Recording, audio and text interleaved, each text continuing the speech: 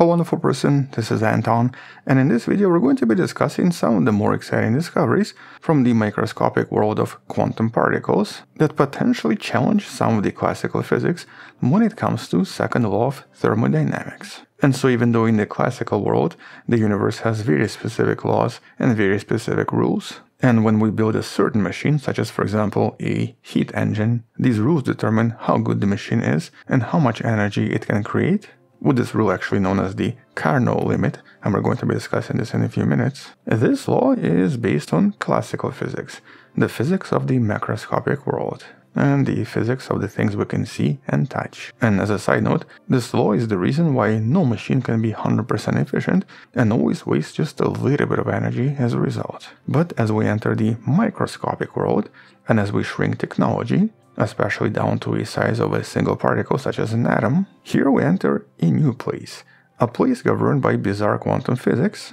and a place that has its own rules that scientists have only started to explore extremely recently. And some of these rules seem to be extraordinary. And so in some of the recent studies, by exploiting some of these hidden connections between particles, scientists realized that, theoretically, a lot of microscopic engines might actually be able to bend these classical laws and overcome the Carnot limit, extending their efficiencies and basically violating the rules of classical thermodynamics, achieving efficiencies that were previously impossible. And so here we have this new proposition of the idea known as quantum thermodynamics. And so let's discuss this new study and all of this research in just a little bit more detail. But in order to understand all of this, we do have to go back in time by maybe 200 years or so to the early 19th century France. And specifically this book by Sadi Carnot, who's imaged in some of these really beautiful paintings that are apparently in someone's private collection. And so technically this is sort of the father of heat engine. But in case you're not familiar with heat engines, it's essentially summarized in this picture. It's any system designed to convert thermal energy or heat into useful mechanical work. And obviously today we use them for practically everything, from cars to power plants to literally almost every device that involves pistons and some kind of energy conversion. And so in 1824, a French physicist and a military engineer named Nicolas Léonard Sadi Carnot finally formalized the limits of these machines. And so his work, known as the Carnot's theorem or Carnot's law, is something that stems from the second law of thermodynamics. He basically realized that for any engine to produce work, it must operate between two specific environments a hot source or a hot thermal reservoir, and a cold sink or a cold thermal reservoir. With the law stating two critical points. First, no heat engine can ever be more efficient than a theoretical perfect reversible engine operating between these two temperatures.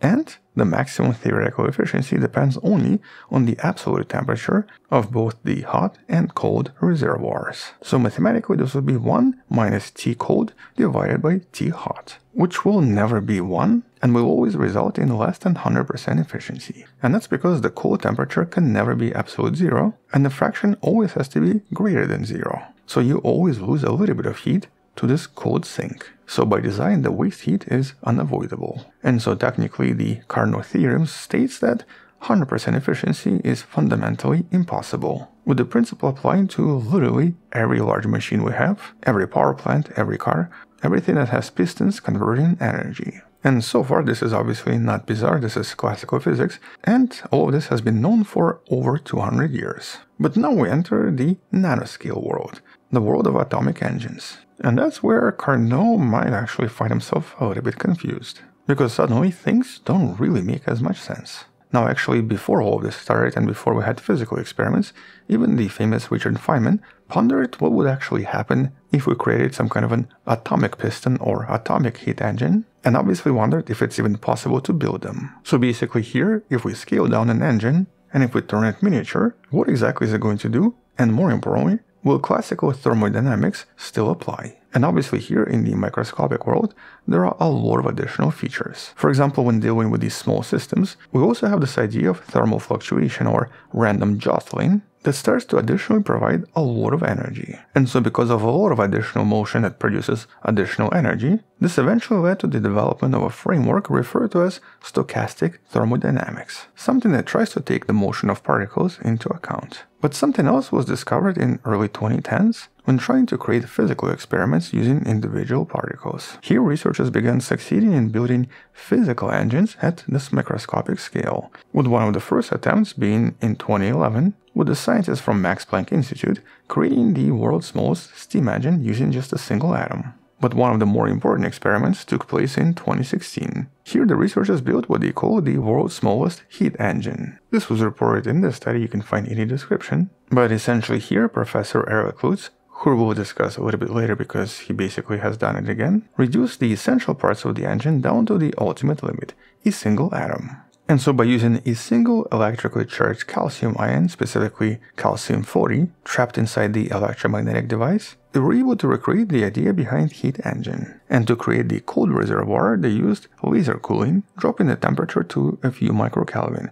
But then to create the hot reservoir, they shook the ion with the electric field which increased its kinetic energy by a few millikelvin. And so the process of heating and cooling caused this atom to oscillate back and forth, just like a piston inside the heat engine. And so this oscillation was then used to store mechanical energy, acting like a tiny flywheel. And this was a huge experiment and essentially a very important proof of concept, with a single atom achieving the output of approximately 3 times 10 to the power of minus 22 watts but a very very low efficiency of 0.3%. And so you're not going to be powering anything with this anytime soon, but it was still kind of interesting. Interestingly though, when doing calculations, they also discovered that the power to particle ratio here was technically comparable to a typical car engine. But critically, this also confirmed that the fundamental mechanism for macroscopic heat engines seems to indeed work in the subatomic world as well. So here they prove that we can definitely build these engines, even though we basically know nothing about them. But then we have this next important question. What about the rules? Does it still obey the same rules? and can the rules be broken? And that's because the problem with the Carnot limit when applied to the micro world is that it seems to rely on the fundamental assumptions that the engine and all of its surroundings are completely unrelated and completely disconnected, which would of course make sense for the macro world that we live in. For large systems, this is a pretty safe assumption. We don't really expect the atoms inside the heat engine to somehow become connected to atoms somewhere else. But things become a little bit different in the microscopic world, because here the world of quantum mechanics can take over. And this brings us to the next concept that's super important and was recently confirmed, known as quantum correlations. A very important concept described in 1967 paper that though might be difficult to understand mathematically, in simple terms, basically produces a kind of a special link or a special bond between particles at the atomic scale. And so here these links mean that the state of a single particle is directly tied to the state of another particle, even if they're not directly interacting. And so in the quantum realm, the engine and the hot-cold baths can technically become entangled. They can start interacting and influencing each other in a way that should be impossible for the macro world. Now, in standard thermodynamics and in the world we live in, all of these correlations are completely ignored. But turns out that if you do factor them in, they actually present us with a very unusual hidden source of energy. Energy that in theory can be extracted and used. And that was the focus of the most recent and most significant discovery from 2025. Once again, Professor Eric Lutz, along with Dr. Milton Aguilar, discovered something super cool. First of all, here they were able to discover new laws of thermodynamics for these tiny correlated quantum machines, with the laws in this case showing us that thermal machines operating at the atomic scale can convert not only heat, but also quantum correlations into physical work. And this seems to happen in two different ways. First case is referred to as the thermal case, the usual operation where heat is converted into work just like a standard engine. In this case, this would obviously involve some kind of an atom. But then there's also the athermal case, where these microscopic engines extract work mostly from the entropic sources, such as the system bath correlation, or the correlation between the hot and the cold baths, and not just the heat itself. And so when running both of these regimes at the same time, scientists predict that it's quite possible to exceed Carnot limit making these engines overall way more efficient. Although in this case, it's not really violating any physical laws because it's just extending some of the laws from the classical world, combining them with the laws from quantum mechanics. And so here the standard Carnot formula actually still holds true, but only for the thermal case. Once you start harnessing these internal quantum bonds, all of these engines will actually get an efficiency boost that the classical physics cannot account for. And though this was not physically created yet, right now this was illustrated using a simulation of a quantum engine consisting of two harmonic oscillators coupled to a separate hot and cold reservoirs. And they actually discovered that in this athermal regime,